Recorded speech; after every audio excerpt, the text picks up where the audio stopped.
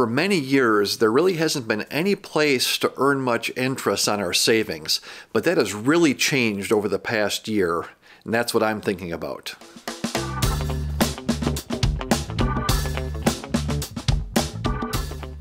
For a really long time, uh, you know, it hasn't made very much difference on our savings, whether we had money in checking accounts or savings or money markets or CDs, maybe pay a little bit more interest. But that environment's really changed. And as we come up on the end of the year here, you know, it's always, it's nice to look back on various things, you know, what we've accomplished, what's gone on during the year. And I was thinking about that idea right, uh, right now with where savings accounts, what opportunities are out there. So I did a little bit of homework and I put together this, uh, this chart here. And on the left-hand side, we're talking about U.S. government bonds, treasuries here, you know, the safest place in the world to put your money. And I highlighted the 10-year bond over there on the left. That, that's the number you see in the Wall Street Journal. That's, you know, that the 10-year treasury is at this. That's one of the benchmark rates. And uh, take a look at where we are here on that today in 2020, December 2022, almost 3.7%. And look right above that, that number from 2021 more than double, right? From less than one and a half to more than three and a half percent interest. It's really significant uh, increase in rates over the past year. Some opportunities to, to actually earn some money on our savings.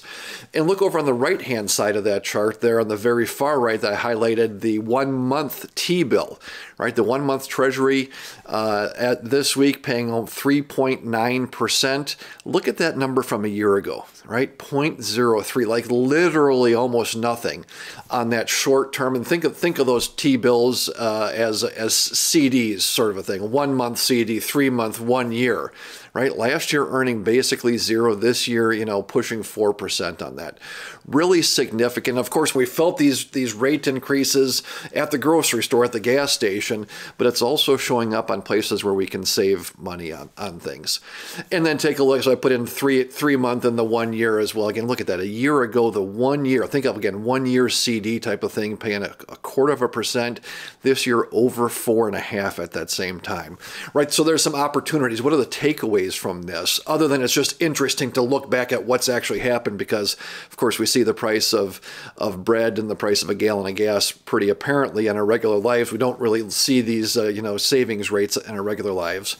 What's the takeaway on that, though? One takeaway is pay attention to where your short term money is, where your safe money used to not make very much difference. Checking, savings, money market, whatever, all getting about the same same rates of return. These days, the savings and money market accounts are going to be paying or should be paying higher amounts. Look at what we have in, on uh, at the U.S. Treasury, right? These are backed by the government, and we're paying you know three and a half and four and four and a half percent on again. Think of it like one year or less investment things, right? So a great place to look and making sure you're being smart with your money. The other thing I just wanted to point out is as you go from right to left on that graph. 2021, you see those numbers go up. You know, only they're, they're short numbers, but they go up from the right to the left on this graph. That's the so-called yield curve, right? The longer the treasury bill, the higher the yield is. Look at what that looks like today, right? From the right-hand side to the left-hand side, it actually goes flat and kind of goes down. That's the so-called inverted yield curve. That can be an indication that there's bad times in the stock market ahead. Of course, I'm not going to predict that. I don't know that it really holds water on that thing, but it is interesting. It's something that's out there to be aware of. You know, we've got a flat or inverted yield curve. What might that mean? So those are the things I'm thinking about today. As always, interested in knowing what you're thinking about. If you're watching this on YouTube, drop a comment in the comment box or shoot me an email directly.